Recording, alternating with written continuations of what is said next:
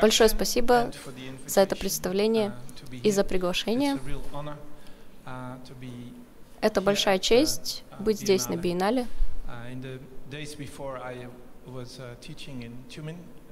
До этого я преподавал в Тюмени несколько дней, и это тоже был большой опыт для меня.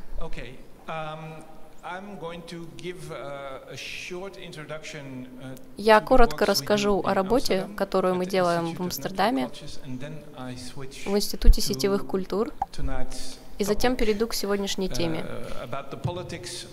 Дизайн онлайн-идентичности от масок к селфи. Okay. Um,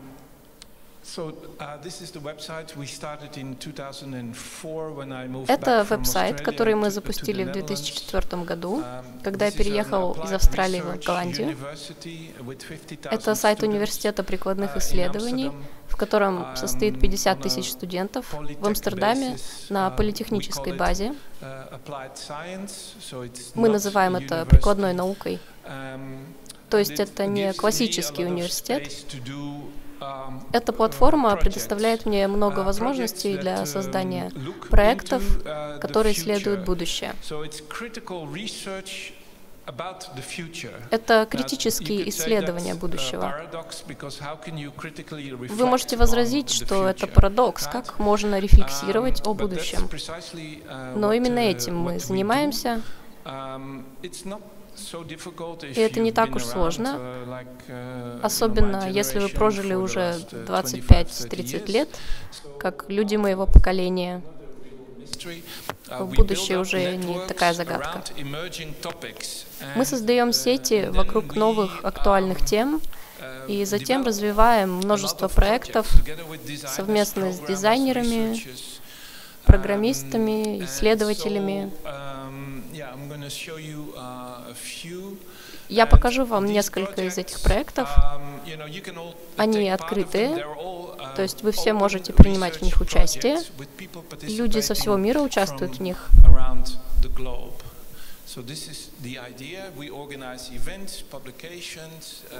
В общем, это общая идея. Мы организуем события, публикации, дебаты и так далее а также конкретные проекты в сфере программного кода. И с конкретными результатами. Наша самая старая сеть — это видео Vortex. Она посвящена эстетике онлайн-видео. Это из последнего нашего э, собрания несколько месяцев э, назад в Корче на юге Индии во время э, биеннале в Коче. Это было прекрасной возможностью поработать на юге Индии.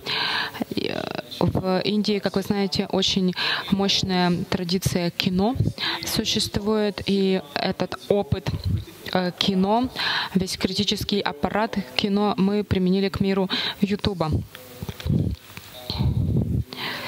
Вот чем мы занимаемся. Это почти независимый от нас проект. Это сообщество из примерно 500 человек. И оно организует выставки, встречи в разных частях. Света, э, забавно, ну, как вы знаете, онлайн-видео по-прежнему достаточно маргинальная э, область, хотя миллиарды людей пользуются интернетом но теоретизация этого явления еще находится на самых ранних стадиях, но мы к этому привыкли. Особенно вот с этим проектом он не так широко известен но мы очень серьезно к нему относимся. Этот проект до сих пор продолжается. Общество запроса. Оно занимается вопросом архитектуры поиска. Что такое поиск?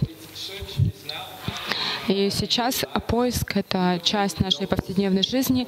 Мы уже даже не замечаем этого, когда что-то ищем в интернете. Это происходит буквально за долю секунды. Мы выходим онлайн, находим нужную вещь, кликаем на ссылку и идем дальше. Да? Этот опыт каждому знаком. Мы э, все еще считаем, это классическая тема еще с эм, исследования э, библиотек, с библиотечных исследований к нам пришло, но сейчас э, этим занимаются буквально миллиарды людей.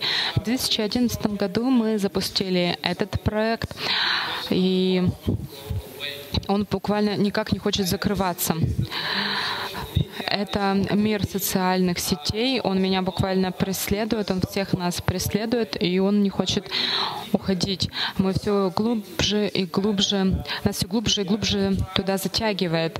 Мы с самого начала пытались сказать, Ладно, существуют альтернативы, нужно подумать об альтернативных архитектурах. Однако пять лет спустя, сейчас эм, мы очень глубоко в это вовлечены, и можно сказать, что очень медленно тема, которую мы здесь поднимаем, вот этими проектами, то есть э, мы говорим о том, что они очень медленно э, присоединяются к мейнстриму, очень медленно. Завтра у нас будет 4 э, часа в другом помещении, и там мы будем обсуждать эти вопросы. Будем э, обсуждать проект Unlike Us, не такие, как мы, и подробно рассматривать текст, мой текст, который называется э, «Что социального в социальных сетях?». Э, я не буду сейчас много об этом говорить. Если вам интересно, пожалуйста, приходите приходите завтра на наш э, семинар в 12 часов.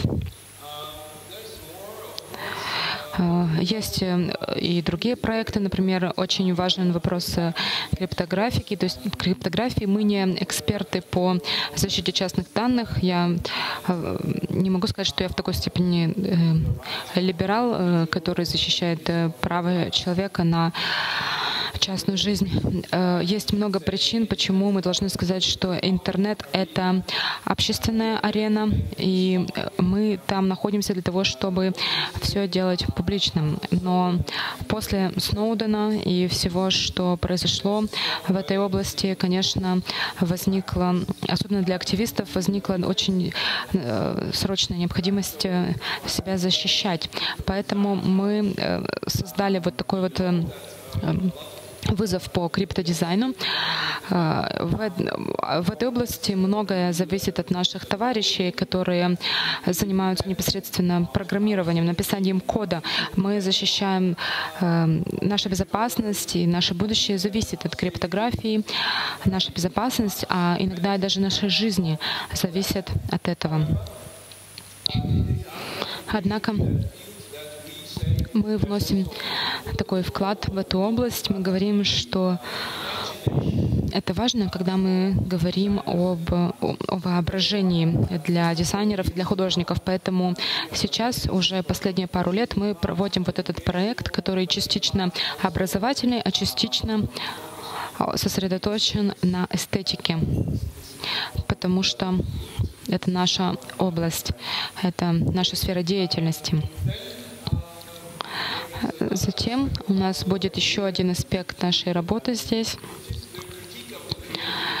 Э, это э, критика творческих э, областей. В Тюмени, например, уже говорили, что в следующем году вот эти творческие индустрии придут в Тюмень. Я пожалел местных жителей, но вот эти э, творческие индустрии — это очень э, мощный инструмент около либеральной политики, и а, они э, распространяют вот эту вот нищету среди художников. Поэтому мы хотели бы вас предостеречь против вот этого инструмента политики, он довольно неприятный, потому что это на самом деле не креативные, и не отрасли. То есть э, он пытается уничтожить э, визуальное искусство и э, никакую адекватную бизнес-модель взамен не предлагает, чтобы деньги зарабатывать. То есть что вы из этого извлечете? Вот какой вопрос вы должны себе задать. Хорошо, затем Например, если вы зайдете на наш э, сайт, там вы увидите э, блог Сильвии Ларуссо, которая с нами работает под названием Entry Precariat.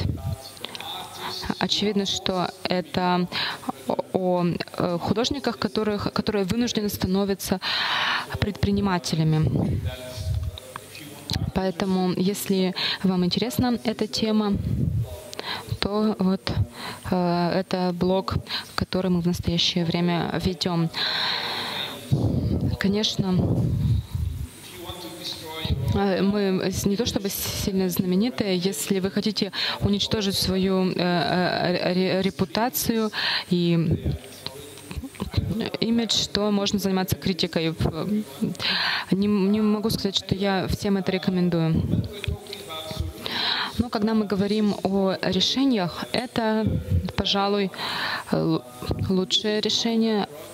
Это проект Money Lab, который мы начали в 2013 году, 4 года назад. И это самый активный наш проект на данный момент.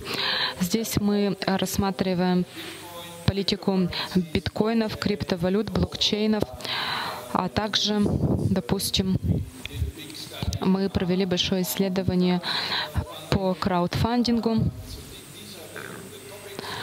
И вот какими темами мы занимаемся. Мы задаем здесь себе простой вопрос. А как, какие существуют модели получения выручки в интернете, дохода в интернете от худож... для художников?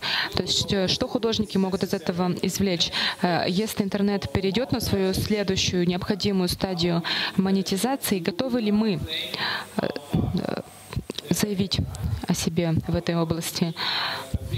Станем ли мы жертвой или мы сможем э, затребовать какие-то деньги, новые деньги, которые сейчас изобретаются то есть это связано с тем, чтобы повышать осведомленность среди художников о монетиза монетизации, потому что помните, что эконом, потому что экономика э, текущая, наконец-то э, ей приходит конец. Идея Фейсбука, Гугла, которые сказали, э, что вы должны бесплатно всю свою работу распространять, вы должны бесплатно выкладывать на YouTube, на Facebook все свои работы и так далее, да. И вы, разумеется, ничего э, с этого не получите, но теперь эти дни прошли, и это хорошие новости.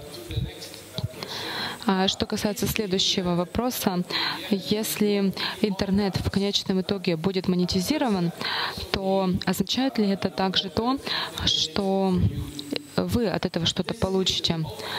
Это открытый вопрос, и мы знаем, что если вы никак в этом не будете участвовать, то решение за вас примут другие.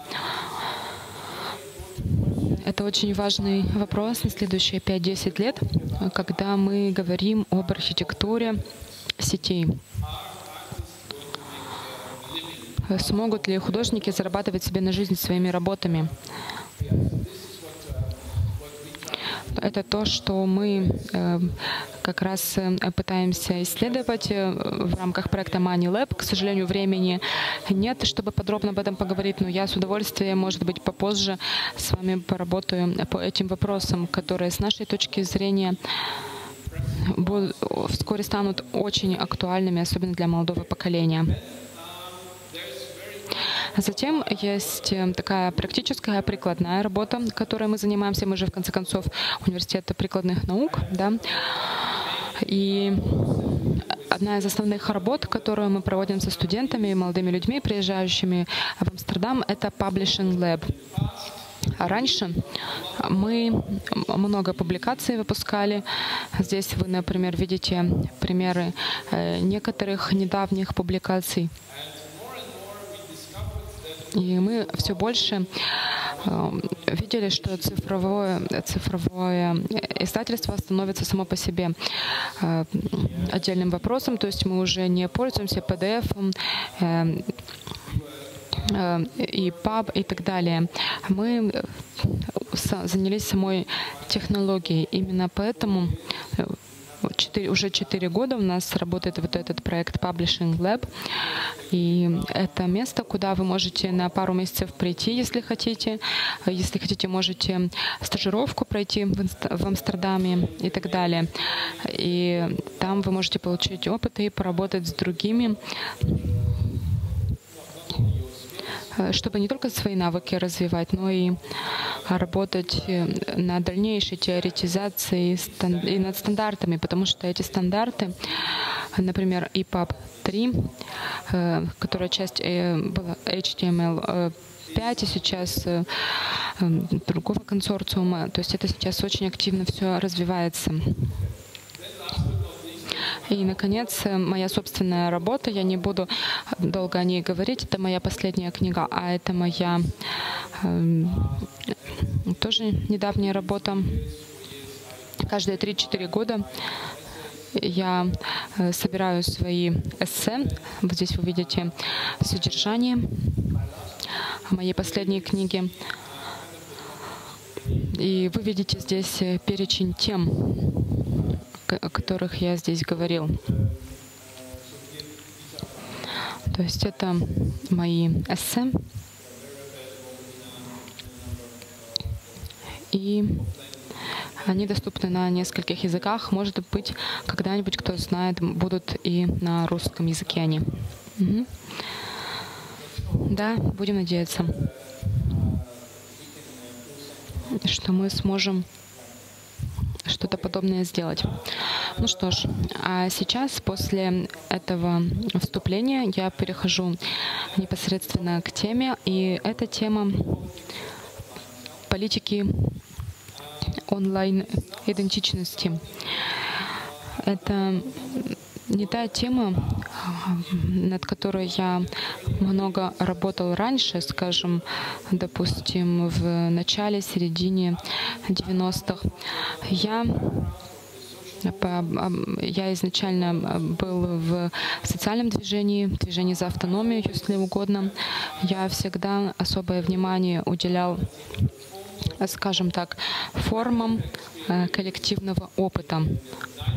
В 90-е годы это называлось виртуальное сообщество, э, и много существует терминов для этого. Кто-то называет это онлайн-племена, другие называют что это опыт, который вы получаете на форуме или в списке рассылки по электронной почте.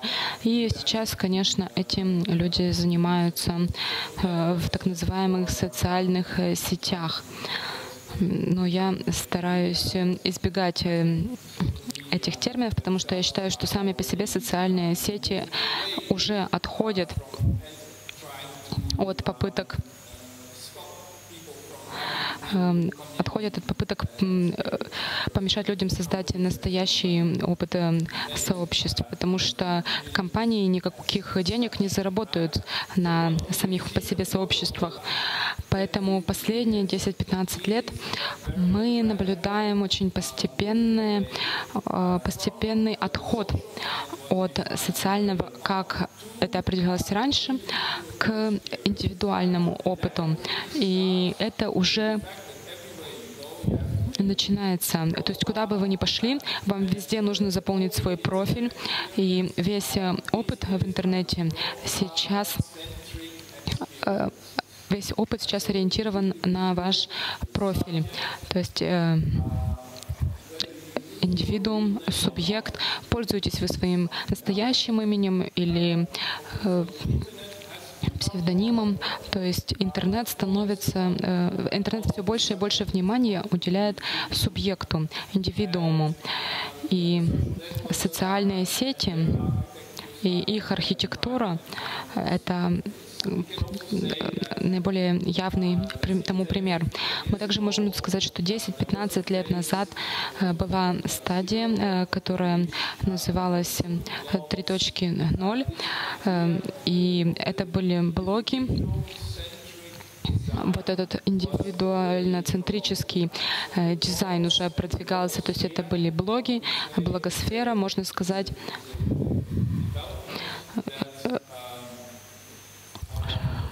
что развитие двигается, скажем так, в сторону социальных сетей. Здесь мы видим очень упрощенное схематическое представление развития онлайн-идентичности.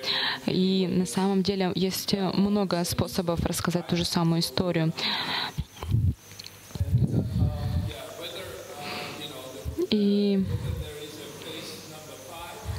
допустим, вот э, пункт 5 — это кризис в капитализме наблюдения.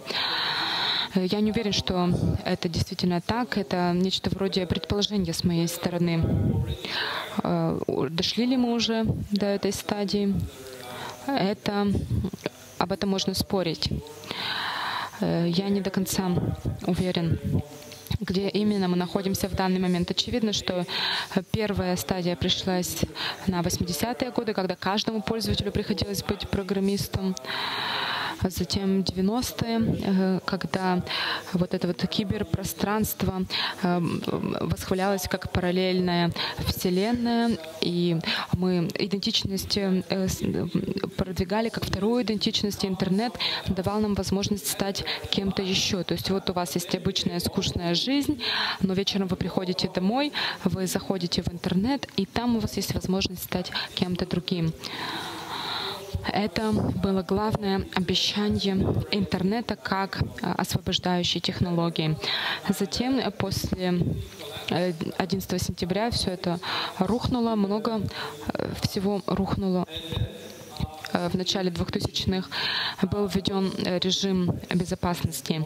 И самое известное здесь это Facebook. И Марк Цукерберг по сегодняшний день проповедует, что нельзя давать э, ложную информацию и так далее. То есть вы должны быть честными с Марком Цукербергом, свое настоящее имя, настоящий номер телефона ему сказать и так далее. И тому есть причина, потому что он очень тесно сотрудничает э, с CIA, Службой национальной безопасности, с ЦРУ и, в частности, с рекламодателями, которые платят ему много денег, чтобы убедиться, что информация, которую вы ему предоставляете, может быть прослежена э, к вашему настоящему имени. Это главное, э, это основа бизнес-модели Фейсбука. Она основана на том, чтобы вы говорили Фейсбуку правду.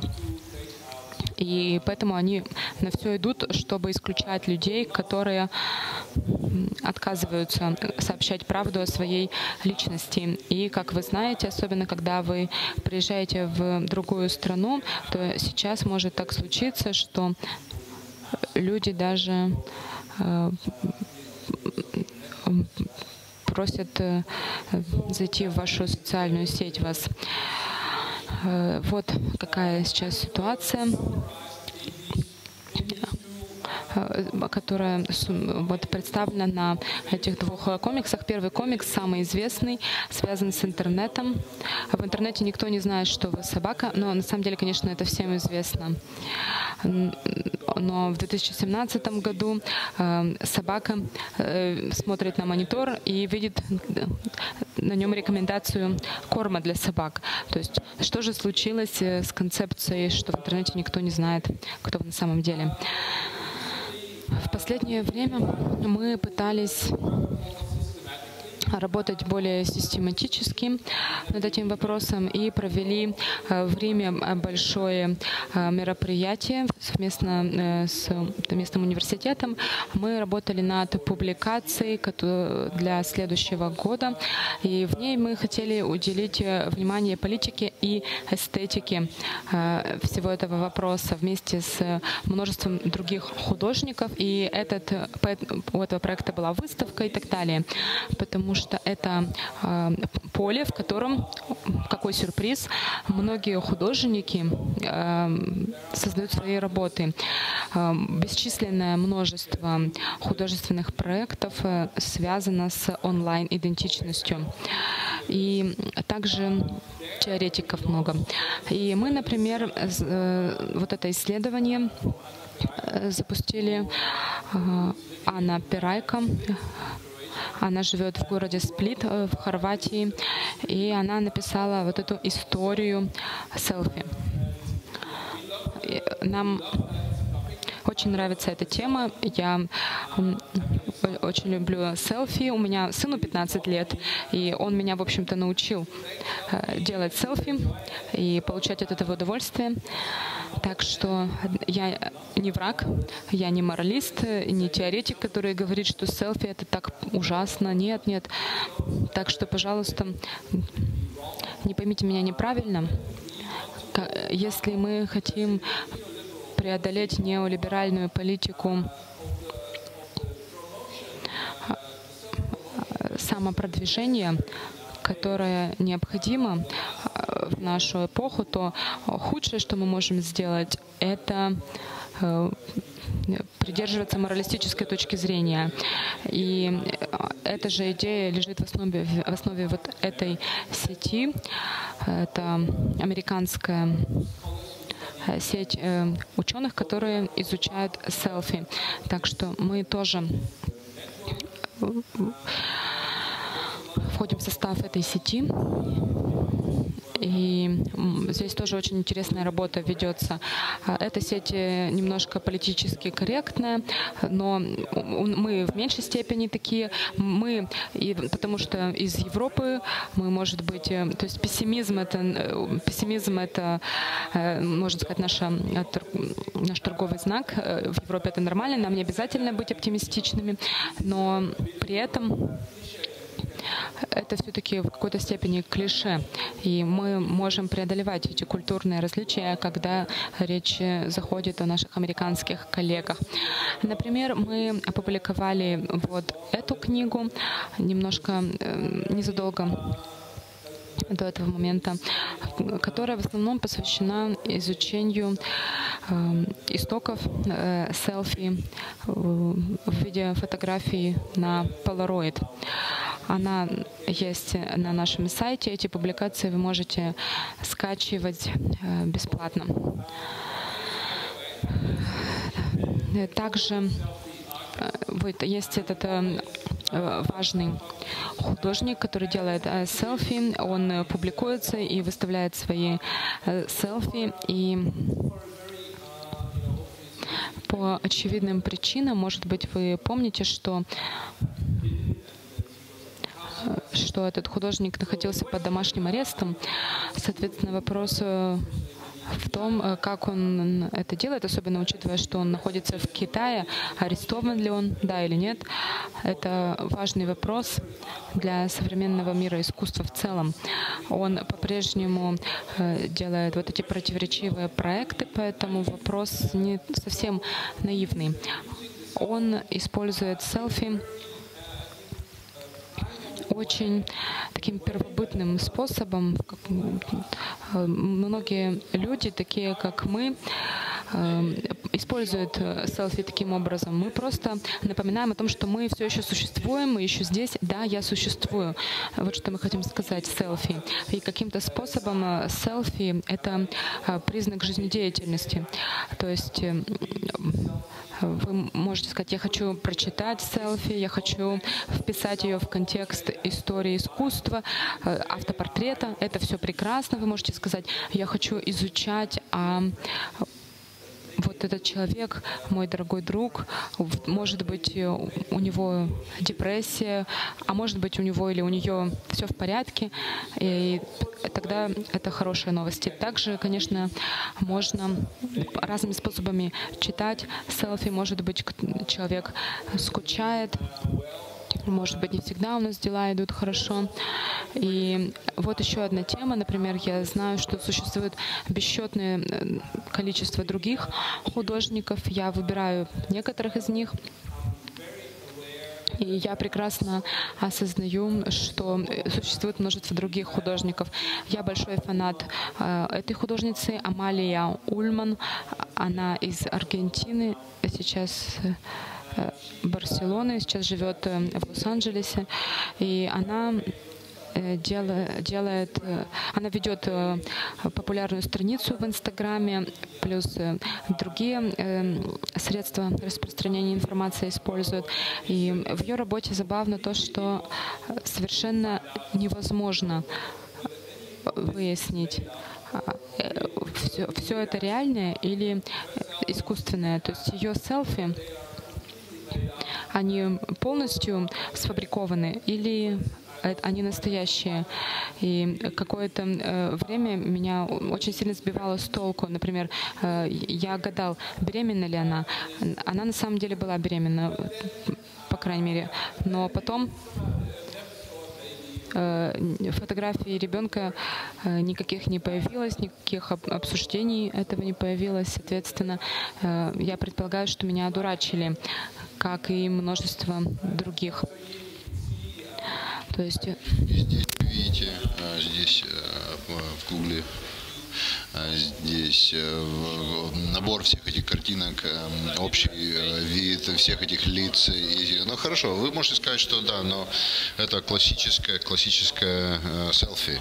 Это художник, занимающийся жанром селфи, если работающий в в сфере современного искусства и в поле современного искусства. И это очень интересно. Это вещи, которые очень... Если Лев, Лев Манович, он здесь, я про него говорить не буду. Э, но про Selfie City это очень важный проект, который я только хотел бы сказать вам, что это очень хороший инструмент для межкультурный инструмент для того, чтобы сравнить э, селфики, сделанные в Бангкоке, в Берлине, в Москве, в разных городах, в Нью-Йорке. Сан-Пауло, и можно сказать, а, да, ну, я знаю, какой будет результат, потому что в Сан-Пауло люди всегда довольны и все время танцуют, а в Москве там все время плохая погода, и люди в депрессии. Но на самом деле это неправда. И вы можете пойти на культурный тур самого себя, посмотрев вот с этим очень успешным а, проектом. Также я хотел бы сказать о теории э, немного хотел бы сказать, потому что также мне я, интересная теория для меня селфи и вот этот дебат вокруг селфи и возвращается назад к концу 70-х, когда появился неолиберализм, начал э, расти, и это все сведено вместе в двух текстах, которые были написаны на самом деле вот именно в это время, в точно в это время, э, в, в 79-м. Один, одна, это культура нарциссизма, Кристофер Лаш, довольно традиционно американ, американский культи, теоретик культуры до времени, до того, как появилась такая наука, как э, исследование культуры и культурология. И, конечно, Мишел Фоколт, э, он его, то, что называется, его, в его позднем периоде, то есть это не Мишел Фуко, который в тюрьме и в больнице Мишель Фуко, нет, это нет, эм, это его поздний период, который изучает историю сексуальности. Это поздний Фуко, который описывает технологии себя. Э, и теперь, конечно, сейчас, позже, сейчас большие исследования, которые показывают, да, на, что в тот момент он исследовал и писал о неолиберализме и, далее, и вот это. Ну так вот, это два, это две очень важные работы, более современные работы, я бы сказал. Это Эва Элюс, теоретика из Тель-Авива, из Израиля. А, здесь э, создание эмоционального капитализма под названием а, описывает очень хорошо с психоаналитической э, теории, с этой точки зрения.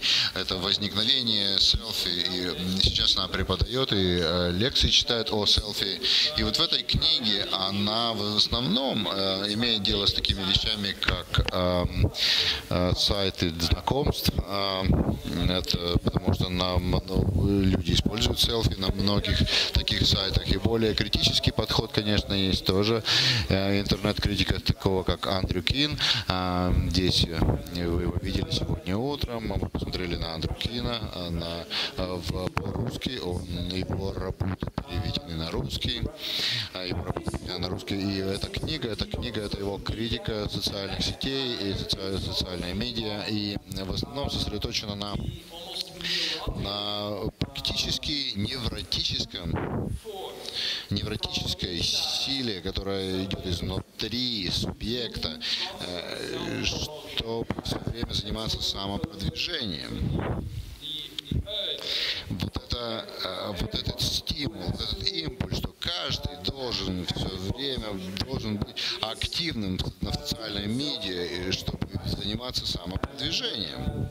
И, и вот в этой, вот в этой культуре самопродвижения э, селфи играет очень важную роль. Может быть, теперь это даже более э, эстетизировано, я бы сказал, потому что э, за, счет роста Инстаграма и также очень интересный здесь поворот такой. Здесь, может быть, еще две более свежие вот это, этого года, прошлого года. Кристин Домбек, исследование, которое, э, которое говорит это боязнь нацизма, которая описывает а, в наш, в нашем обществе Кристофер Лаш. А, и вот эта боязнь быть, э, чтобы э, того, что тебя обвинят в нарциссизме, а, чтобы изучить, вот это нечто, что, что нужно изучить как предмет. Это нет, это не я нарциссист, это, это другие. Они, другие страдают нарциссизмом. Это вот это тот иной, он страдает нарциссизмом. И вот здесь вот в этом эссе на это все разбирается на части и опровергается. Здесь есть еще текущий э, новелла, роман, может быть, слыхали это, э, называется «Я ненавижу интернет», Джаред Кобек. Э, это очень омерзительное описание э, э, самопродвижения в Сан-Франциско, на улицах Сан-Франциско. Э, люди, которые совершенно разрушены э, Гуглом и э, недвиж... ценами на недвижимость. Поэтому если чувствуете, если у вас есть ненависть к интернету, вот почитайте вот это. Ну и, конечно, есть, конечно, есть, конечно, и в 2017 году появилась вот мы, нам в лицо вот это самый великий нарциссист, который стал президентом США и они, они имеется, имеется значительное количество, большое количество таких вот шуточек про него. Конечно, может быть, вы э, знаете, что есть научные статьи, которые уже были опубликованы в 2015 году о, о, о нарциссическом поведении э, Трампа до того, значительно до того, до того даже, как он стал кандидатом в президенты, как он выдвинул свою кандидатуру. То есть это было, это интересно были работы о его нарциссическом поведении. И э, потом, конечно, в библиотеке будет, целая библиотека книг написано. Это вообще-то, это медицинская проблема, это медицинский вопрос. И имеется, имеется большое количество психиатров, которые работают сейчас именно над этим вопросом. А, это не просто так ничего, но также есть и, э, давайте скажем, более такой секретный аспект селфи. Я хочу сосредоточиться на нем сейчас. Это вот э, селфи, это, конечно же, может быть, вы, э, вы, вы все селфи снимаете, я, я уверен, а, поэтому, когда вы загружаете, это вы знаете, вам хочется услышать, нравится вам это или не нравится. Это интегральная э, часть экономики, мировой экономики. И для Facebook, и для других, а, когда вы это загружаете, и а, речь идет о селфи. Э, отношение к селфи очень-очень важно, потому что а, имеется несколько файлов данных, да, которым э, очень будет определенное отношение, самое приватное отношение. И очень-очень важно понимание селфи, что это понимание селфи должно быть критическое понимание политической экономики и социальной медиа. И сейчас это а, называется экономика лайков. Я не хочу говорить глубоко э, в лайки. Даглаш Рожков, он э, сделал и э, фантастический документальный фильм о, генера... о поколении лайк.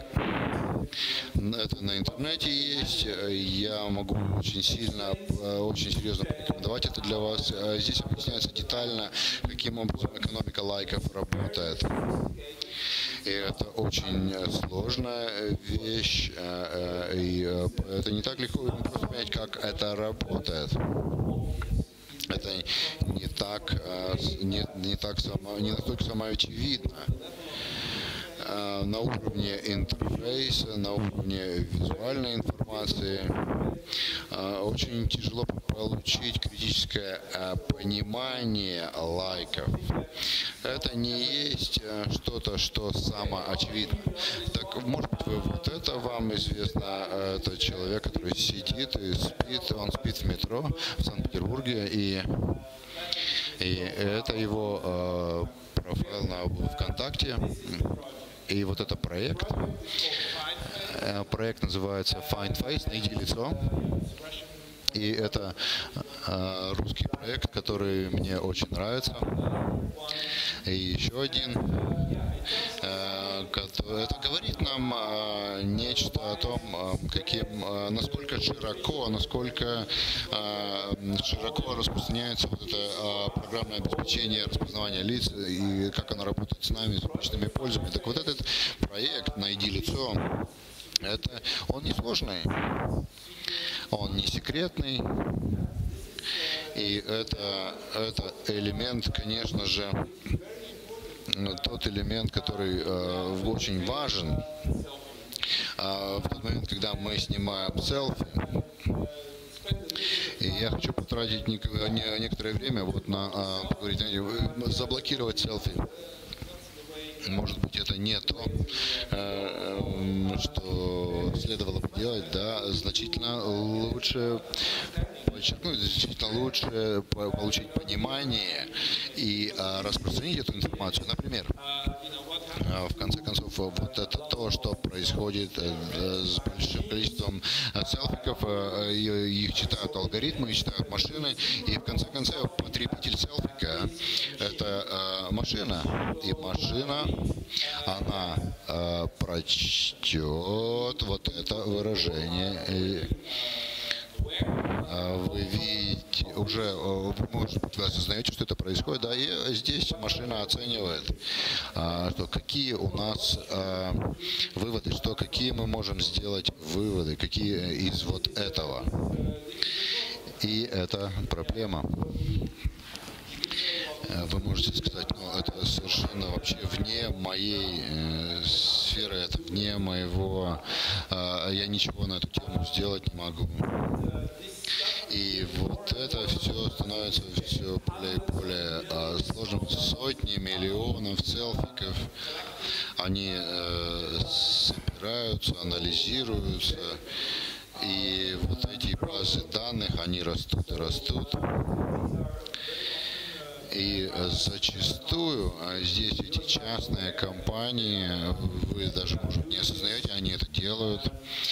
И, а, конечно, когда мы посмотрим, когда посмотрим селфи, когда мы делаем, когда мы снимаем селфи, это э, возможно все это, вот что произойдет с этим селфиком, он будет обработан вот так. И есть целый спектр, целый э, ряд применений, э, которые, как мы можем это применять, мы можем делать э, распознавание лиц, идентификация, верификация лиц.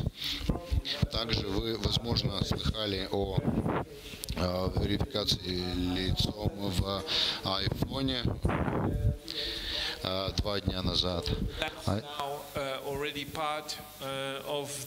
И а, вот это несколько дней для идентификации вашего телефона, вашего, как ваш собственника, мы можем делать более общие вещи, как, а, например, а, распознание пола, возраста, этнического, а, э, этнической группы, и в особенности, если говорить на футбольном стадионе или на площадях,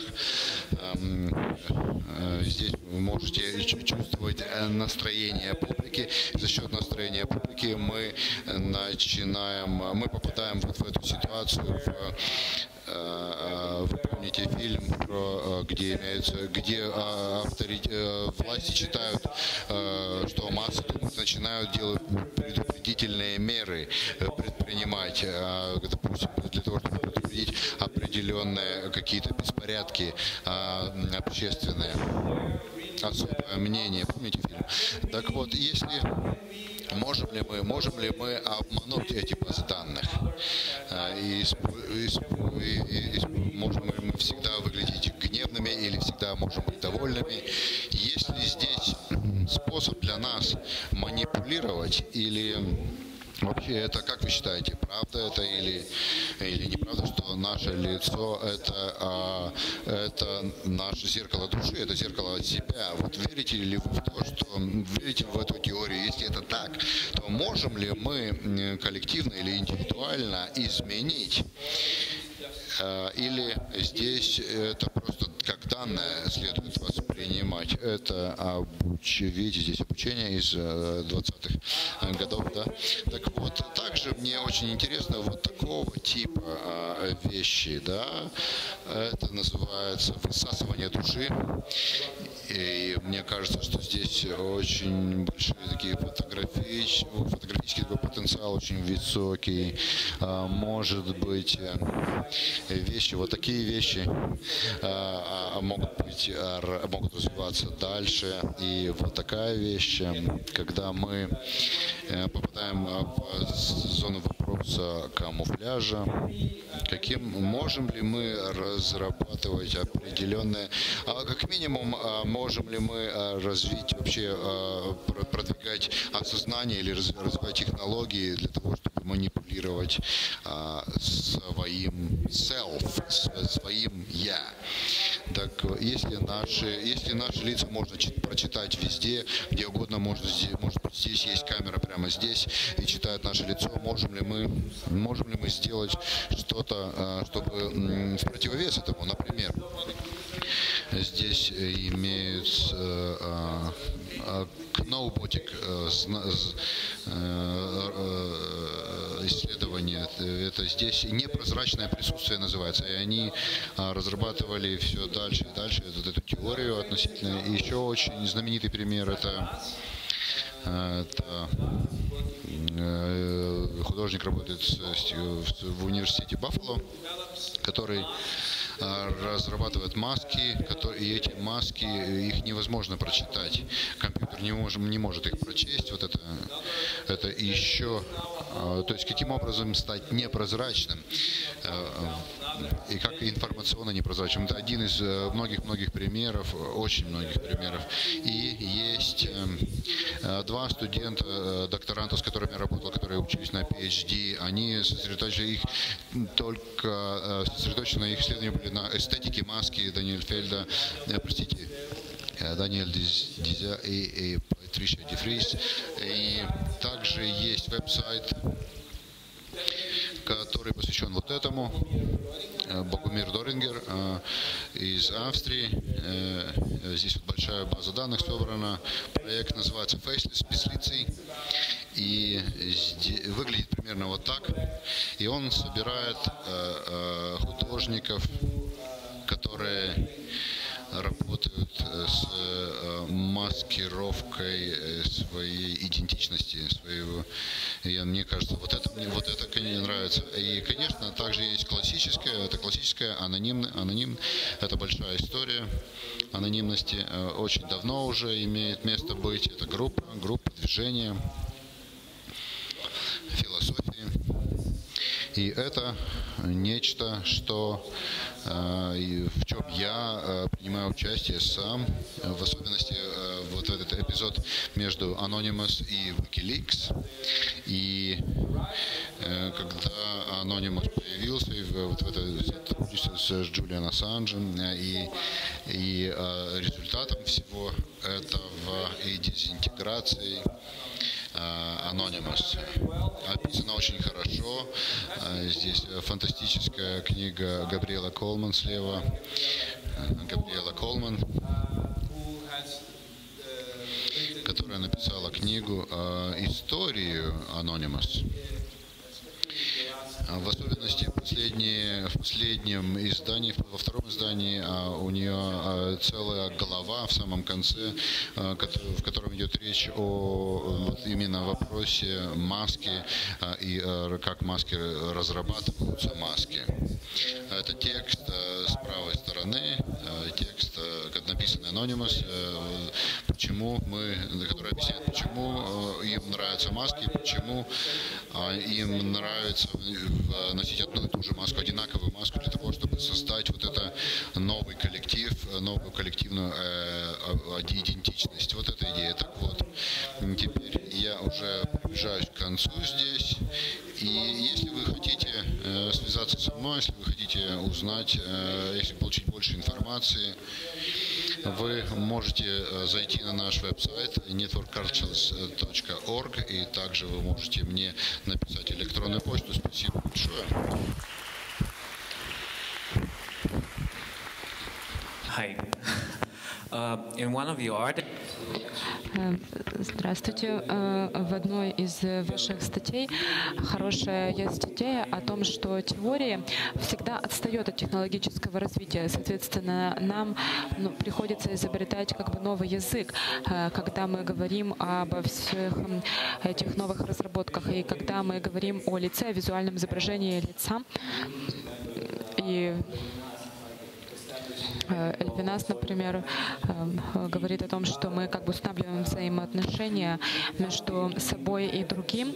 И, а в селфи какая этика, э, вот этот вот полный визуальный акцент здесь применима. То есть можем ли мы в полной мере понять ту культуру и культурные условия, то есть, допустим, о том, ложное это или истина, вот эти традиционные дихотомии. То есть какие новые категории нам нужны. Да, нам это, безусловно, э, нужно, и нам нужно, чтобы историки искусства тоже э, радикально обновили э, теорию автопортрета, потому что, как правило, такие вещи они только с исторической точки зрения рассматриваются. И очень, в очень редких случаях мы видим э, современный анализ, допустим, в журналах по искусству, где бы этот вопрос эм, рассматривался, который вы задаете, который, с моей точки зрения, важен еще и для того, чтобы спасти нас э, от, э, допустим, читаемых машинами ответов, потому что мы можем отправить э, э, селфи, которые мы только что сделали в какой-то алгоритм, и вам эта система сможет сказать, что с вероятностью 28% у вас сегодня депрессия, с вероятностью 29% вы выглядите несчастным, допустим, может быть, вам стоит обратиться к врачу и так далее. То есть действительно ли мы этого хотим?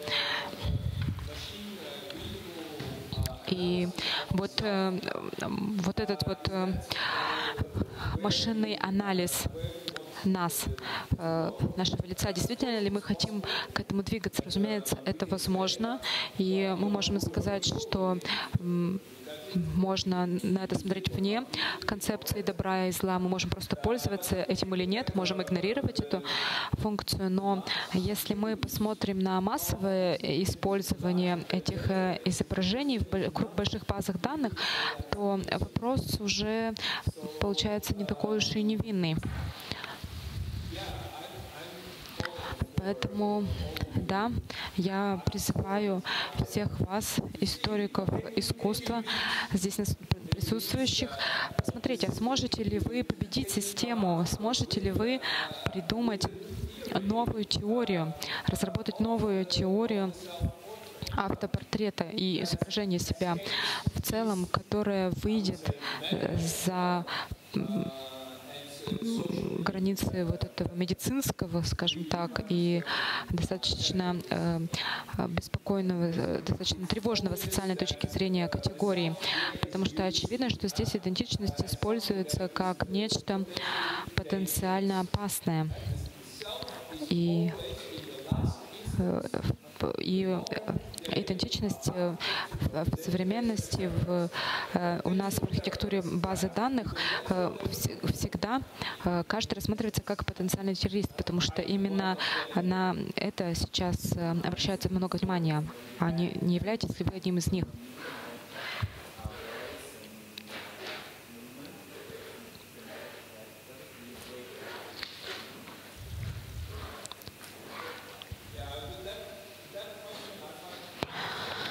Этот вопрос я не считаю особенно интересным, потому что э, то есть э, э, самоидентичность коллективная. Я работаю э, с обеих сторон, так сказать. Вы можете сказать, что у нас сейчас эпоха неолиберального. Я, я могу сказать, то есть это, этот вопрос гораздо легче преодолеть, потому что я могу представить новые формы коллективного воображения. Да, это возможно, и мы об этом будем говорить завтра. И это связано с дизайном социального. И с моей точки зрения это не такая уж большая тайна. Вот как э, с самоидентичностью разобраться, это гораздо сложнее. Э, спасибо, Герд, за замечательное э, выступление про работу вашей лаборатории, книг и за очень сугестивный анализ селфи. Но я думал, что среди этих всех э, современных феноменов есть положительные и отрицательные. То есть у нас каждый раз есть некий сенсор, который что-то про нас узнает. И, допустим, нам может э, сказать сенсор, сколько мы сегодня миль прошли, или что у вас со здоровьем, может быть, есть у вас депрессия или нет, отправить эту информацию вашей страховой компании, и государство нам дает социальную защиту, в том числе эм, в тюрьмах. То есть это диалектическая такая основополагающая особенность современного общества. И э, дело в том, э, как мы можем об этом э, думать вне этой оппозиции, потому что я считаю, что наше отношение к этому, по крайней мере, мое, это, безусловно, вот это вот эм, выходит за рамки этой оппозиции. И я не знаю, что кроме этого сказать. По Фейсбуку, например, я могу сказать, что да, кому-то Фейсбук не нравится, потому что нам кажется, что мы бесплатно, бесплатно работаем, а Facebook эту информацию распространяет распространяем, а другие говорят, нет, конечно, потому что э, люди влюбляются в Facebook, люди э, делятся идеями, то есть если убрать Facebook, то у нас э,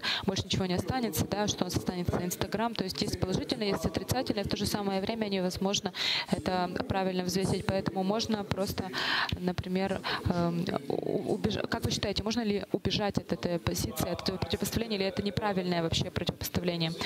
Я считаю, что противопоставление себя и социального, я считаю, это неправильное а, противопоставление. Это, безусловно, ложное противопоставление. А а второе, вами упомянутое, вот это уже, наверное, интереснее. Это то, которое связано, скажем так, с положительной с положительными путями использования этого, которые мы все видим, положительные способы использования в повседневной жизни, чтобы получать информацию, чтобы отслеживать своих друзей, которые в разных местах и в разных ситуациях находятся и так далее. Так что, конечно, социаль... социальные сети расширили наш взгляд радикально.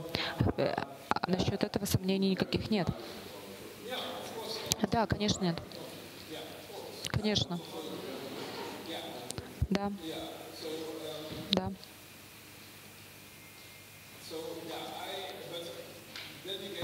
Но затем, опять-таки,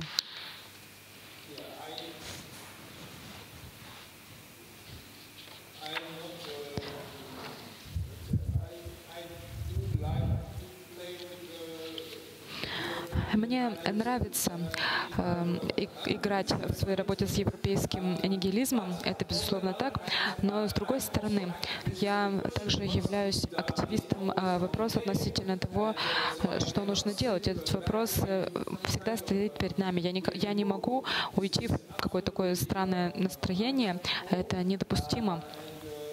И а, многие люди не могут себе этого позволить. Поэтому есть моменты э, размышления, но я э, всегда пытаюсь э, это преодолеть в нишанском смысле, преодолеть и указать на возможности, э, существующие для нас, как для отдельных людей и для тех из нас, кто хочет, допустим, организовать вот это биеннале и много других проектов, в которых мы участвуем. В первую очередь спасибо за вашу работу, за то, что вы поделились ей с нами. Когда я слушала про эти темы и про то, сколько мы теряем, находясь на Фейсбуке и так далее, что есть опасные стороны э, селфи, которые уже так сильно укоренилась в популярной культуре, мой вопрос мне кажется, что э, вот мне кажется, что э, э, может быть какие-то хакеры говорят про это, может быть какие-то художники, но это в любом случае находится на краю общественного сознания. То есть, например, я думаю, что моей маме все равно, а она точно так же пользуется социальными сетями, как и любой другой. Соответственно, вопрос в том, это вопрос времени, или, может быть, мы не нашли еще способ убедить э, широкую общественность в том, что это важно.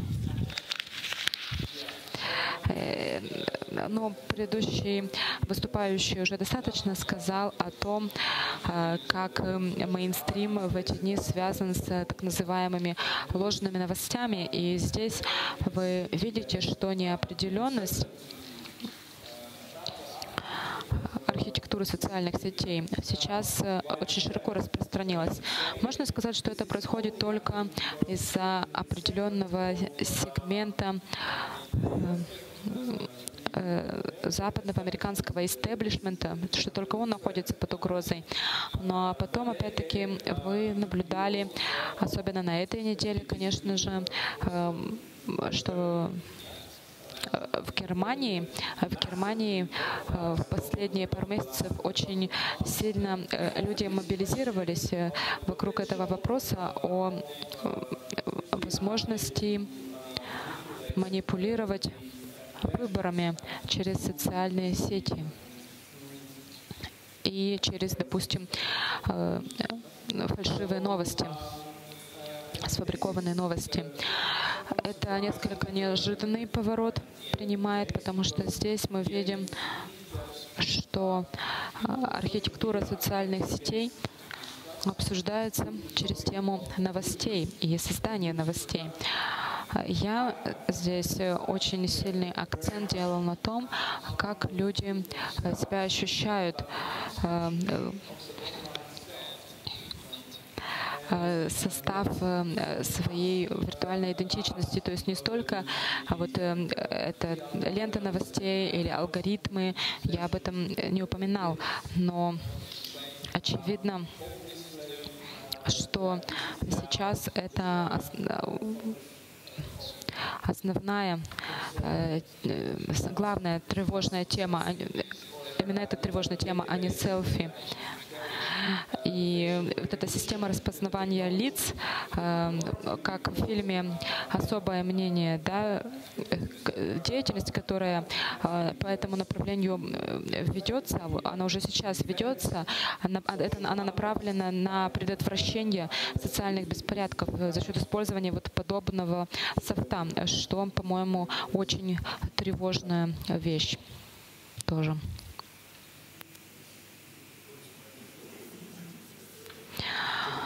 Просто небольшое примечание. Э, интересно, э, в Америке, там, э, в Швеции никто особо ничего нового не делает. Как, а вот в Азии люди пошли дальше. И Например, во время студенческих беспорядков в Гонконге правительство то есть, э, э, когда закрылась социальные сети, все переключились на Telegram. То же самое произошло в Корее. То есть Азия вообще в целом в использовании технологий э, пошла, ушла вперед, потому что больш, большие слои населения могут на это реагировать. Мы это видим. То есть это массово уже. Да, извините, времени много. Да, и, кстати, это указывает э, на множество других глав этой саги, которая перед нами разворачивается и будет э, в следующие 5-10 лет разворачиваться. Мы, по сути, только в начале этой истории, и меня это немного тревожит, потому что я думал, что мы сможем завершить эту главу по социальным э, сетям в какой-то момент, но все указывает на совершенно другое направление развития, а именно на то, что мы находимся лишь э, в начале этой саги. Поэтому нам нужно лучше готовиться. И нужно подумать об альтернативных э, способах. Э, безусловно, этот вопрос еще открыт. И это очень важно обдумать. Например, такой совершенно простой вопрос, а можем ли мы э, другими способами э, налаживать отношения друг с другом? Например, могу ли я быть, то есть помимо дружбы, то есть, например, э, можем ли мы как-то дать волю воображению, когда речь заходит о социальных взаимоотношениях, которые более сложные и более разнообразные? Более э, безумные, если угодно. Может быть, мы как-то здесь можем больше сделать. Спасибо.